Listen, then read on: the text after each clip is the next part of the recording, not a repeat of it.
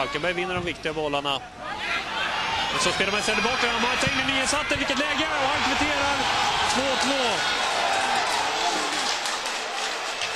2-2. Verkligen tungt för Falkenberg.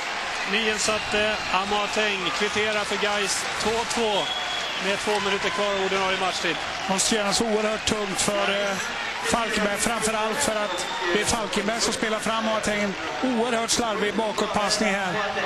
Amoateng får komma igenom och sätta den under Naurin. Ett bra avslut av Amoateng.